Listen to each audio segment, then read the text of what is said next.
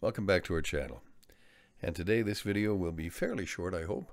Mostly a walkthrough of how to get at and use OpenXR in Steam. But uh, take a look at this battery indicator. I've still got five bars. I've been using this battery for two weeks with the Pimax hub, and uh, I play about two, three hours a night, and then it charges up by itself overnight, which is pretty cool, you know, um, and far better than than um, than I thought might be possible when we first started. I was kind of like, oh boy, a battery, really? I mean, I knew the uh, I knew the um, XR2 chip required one, but uh, Pimax came up with a pretty good solution here, and they sent everybody who bought a Crystal a power hub that uh, you plug your headset into, and then it supplies extra power to run back through the headset, uh, through the cables to the the um, the headset. So yeah, it's working pretty well. Anyway, Steam and Steam XR. It seems weird, doesn't it? We've uh, I've never thought of uh, Steam and XR together. We use Matt Bucchianeri's uh, OpenXR toolkit and his runtime for OpenXR, but we don't need to anymore. Flight Sim 2020 supports OpenXR natively now, and so does Steam. So let's start by opening up Steam VR. I said, let's start by opening up Steam VR. Oh, there it is. I haven't got that twice, have I? Probably I do. Okay, so you can see in Steam VR settings here, we've got the usual thing, but we have, you know, player area, dashboard controllers, blah, blah, blah, blah, blah, blah, and then, then something new. OpenXR, baby. This one's for you. And I've already selected the correct runtime. It gives you an opportunity the first time you run OpenXR to choose the runtime that'll work with your headset. And for the Pimax Crystal, that's the Steam VR runtime. It's confusing. I don't know why it doesn't say Steam XR, but it says Steam VR. But it actually is the OpenXR runtime. I think if you have an Oculus of some sort or a, a Meta headset or something else, it might give you a different labeled API. But they all basically do the same thing. They run OpenXR within Steam. Then you can manage the API layers. Now, that's just a fancy way of saying things that you can do within API if you tell, or things you can do within XR if you tell XR they're okay. that's what this does. It basically says, hey, OpenXR, I want to use the OpenXR toolkit. Okay. I want to use XR Neck Safer. Oh, that's a beauty in DCS. Okay. And OpenXR to provide output for OBS.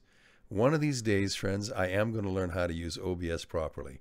I know my friend Sky King just grinds his teeth when he sees me struggling with it because he's so good at it. But anyway, it's turned on, so sooner or later I'll figure out how to use it. So let's close that, and then let's go to Developer and just see that we're okay. Current OpenXR runtime is SteamVR. So we're good to go. Now, I prefer... Huh, yeah. I prefer to start Steam uh, Flight Sim 2020 through Steam, if that makes sense. I can start it from here using games, and, and that works about 90% of the time, but sometimes it doesn't. Usually I just come into here to set the, the Pimax crystal settings that I want. And I, for render quality, I choose balanced. Uh, fixed foveated rendering is off for me. I can't do eye tracking or uh, uh, dynamic foveated rendering with the software I'm using right now. I'm using a beta Pimax um, uh, play because uh, we're testing a couple of other things. Anyway, we don't need it today. Just understand that when we get it back, it'll improve the experience uh, maybe five, six frames per second, maybe more. So I'm going to leave everything set like that. I really don't need to do anything with that. I'm going to open Steam. And I want to use Matt's OpenXR toolkit. But one of the really interesting things that I found with Steam XR is that I can't use the OpenXR toolkit if I'm not also running uh, FPS VR which is the frame counter and system analysis tool in Steam. I tried a number of times and it just wouldn't come up. And finally, out of desperation, you know, because desperation breeds more results in my life than intelligence ever will. God help me. Um, so let's turn that on first, because then I'll be able to use Matt's program, which I love very much. And now we'll go back to the library again and we'll click on Flight Simulator and we'll let that start. And that'll take a while. Uh, so while it's loading, I'll go uh, maybe make myself a coffee and a sandwich. I don't know, have a hot bath, a shower, a shave. I don't know, something like that. Come back when it's loaded. Through the magic of editing, we'll be in the cockpit next. Well, now through the magic of editing, we're back in the airplane at Valdez Airport in Valdez. And uh, we're running Steam XR. It seems weird to say Steam XR because we've always said Steam VR. And uh, it seems to work pretty well. I mean, I wouldn't say it's seamless. What I would like is to see Steam just put a big button up somewhere that says, press this and thou shalt be in OpenXR. They don't have to use that voice or anything, but I, you know, whatever. But um, I'd like them to have a menu right up front where you just press it to choose between Steam VR and Steam XR. And then if you choose Steam XR, it takes you to the setup, and that'd be simpler than looking for it under settings in VR. Because, uh, you know, for, for, for people new to it, it's kind of confusing. First, you open up uh, um, Steam, and you click on settings, and it doesn't say anything about VR. You have to open VR and then click in the VR menu within the VR box, and then choose settings. Anyway, let's go flying. I notice at Valdez I get, uh, well, quite a bit better frame rate than in New York. Uh, for me, New York is the the place where frame rate goes to die in VR. I just kind of chose Valdez at random. Pardon me if I sniff and sneeze and uh, run out of breath. I'm still fighting that uh, lung infection, and uh, now I, on top of it, I've got a summer cold. Oh, poor me. Aren't I pitiful? Yeah. Anyway, it looks really good, I think. Um, Ed Bucchianeri told me that uh, it's only maybe four or five frames per second slower than the OpenXR runtime he designed for Pimax itself. And I think, okay, that's all right.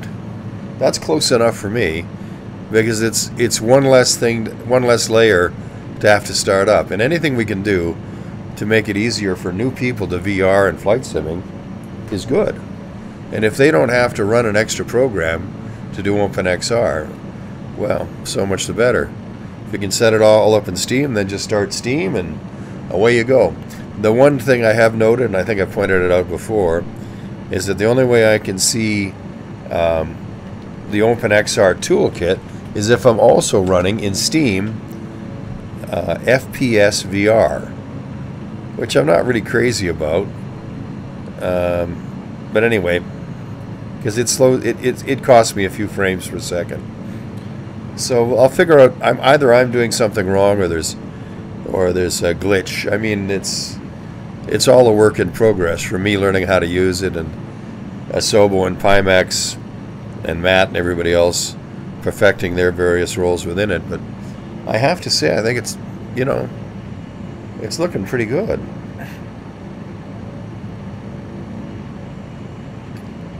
Wow, this is pretty. VR tourism in an airplane. You know, I'm never going to get to go to these places in my lifetime. So, this to me is a wonderful thing and it's only get, going to get better. We're just on the on the cusp of a new reality. There's going to come a time when when we won't be able to, sting, to distinguish what we see in the headset from what we see in the real world. We're not there yet. But by golly, I don't think it'll be long. certainly within the next. Well, anytime I make a prediction, I've been wrong. So I'll just warn you of that up front. I, uh, you know, I, I was the guy who said, "Oh, come on, triple coffee makers, they'll never catch on. People like their percolators." Okay, that that could have been me, but it wasn't. You know, and I would have been the guy saying, "Henry Ford, what are you thinking? The Model T's the success story of the century. Don't change a thing, baby." or else I'd be uh, else I'd be pushing for something really radical. Either way, I'd probably be wrong. Not am not only am I not the sharpest tool in the shed, my friends, but sometimes I'm in the wrong shed completely, standing in the dark and wondering what the hell I'm doing there. So Valdez looks beautiful in XR. And it's just so cool to to do this. Now that I got oh by the way, I had a lot of problems with VR for a while. Uh, I turned HAGS on at the recommendation of a friend of mine. That's hardware accelerated graphics scheduling in Windows. If you've got a Pimax headset, very few Pimax users have found that works for them. Skyking is one of them, but for me, it completely destroyed the experience It was just a it stuttered so bad and vibrated and shook so much that I I got physically ill in VR with it. And for some reason, it made my colors look like crap. So I turned it off. I don't know if there's a causal connection there. When I turned it off, everything got smooth again and the colors started looking great again, as they should in the crystal. Um, I'm using a beta version of the Pimax client, and uh, we're testing some other things. So this particular uh, client has local dimming turned off, I think, and also uh, eye tracking isn't on. But that's not a big deal for me because I know what my IPD is. And when I get the next uh, uh, Pimax client update, um, I'll be able to use eye tracking and dynamic foveated rendering again, and we'll see another 10 frames per second, maybe. Well, that was more of an arrival than a landing, but I'll take it. I've done worse than that. I remember my first flight instructor in tail draggers. It was an old Air Force pilot. He could fly anything. I swear to God, put wings on a plank he'd figure out how to land it. And, uh, we were flying a Cessna 140, and he demonstrated three perfect touch and touch and goes. And then when we came to a full stop, we bounced once, we bounced twice, we bounced three times, and finally settled down. And he looked at me and said, "Well," I said, "Well, the third one was pretty good." And then when I started flying tail draggers, I realized, you know, when I got a little better at it, I realized that uh, you're never more than a second away from an ignominious landing in a tail dragger. The rule of thumb I always used is if I bounce twice, I power on and go around because it's probably not going to give. Anyway, you know, that's all water under the bridge now since I don't fly anymore. But I do fly in VR, and I enjoy making these videos for you.